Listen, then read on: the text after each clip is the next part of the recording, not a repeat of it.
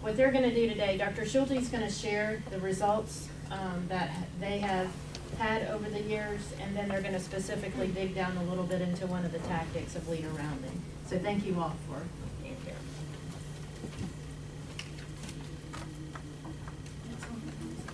Thank you, Janet. All set up already. Well, good afternoon, everyone. Oh, you're lagging a little bit. Come on. Good afternoon.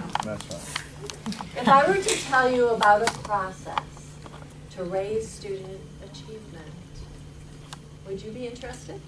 Yes. And Patty, I knew, I knew you would say that. And I loved your question because you said you keep asking about what about student achievement? Well, we thought we were an excellent school district, as a matter of fact.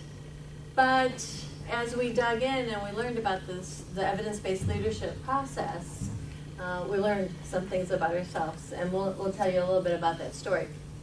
We are talking about rounding today, and rounding is one of the tools of evidence-based leadership. And I believe you need all the tools to raise student achievement.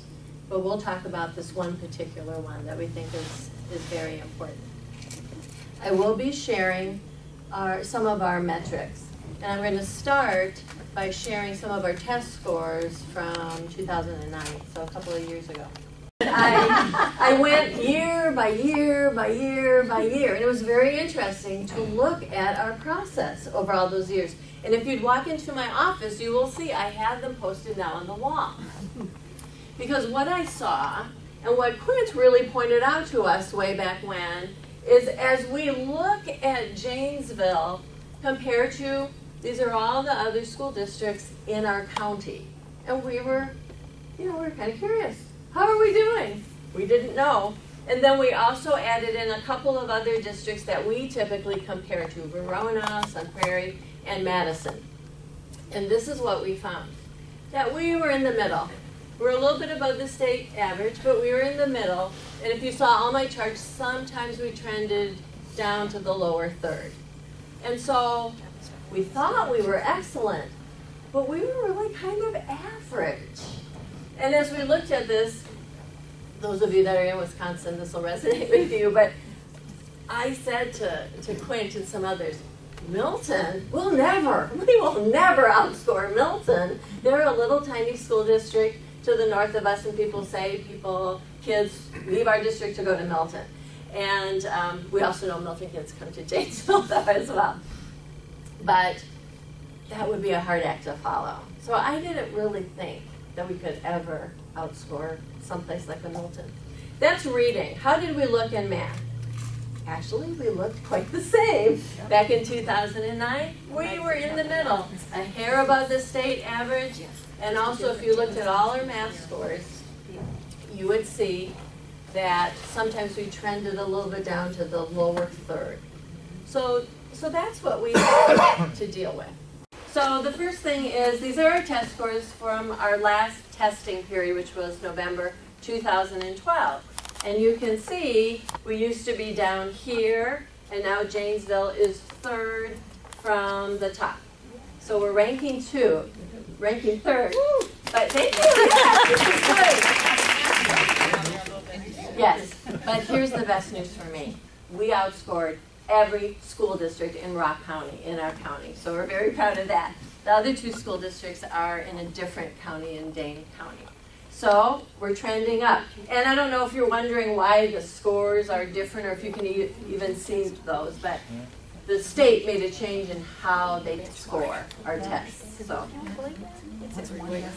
here's the next thing. So math, how are we doing in math? It's the same thing.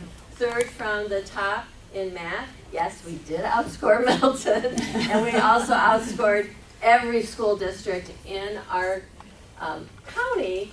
And Janesville is very different demographically than some of our other school districts. So we're very proud of that fact. But it gets better. Mm-hmm. We, this year, our state gave us an accountability score. We really weren't totally sure how that was going to look. It was the first statewide accountability score where we could compare with other school districts. We got our individual scores last year, and we figured out what we thought we were at.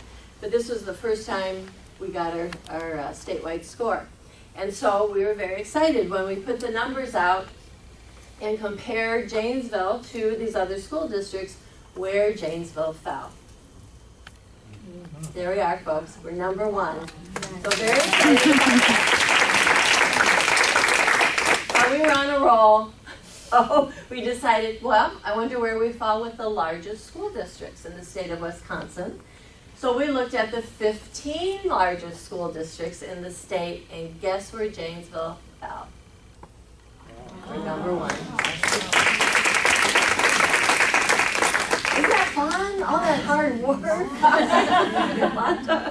it really does pay off. And it's not about the score. I don't want you to think that for a minute. It's about what we do for kids.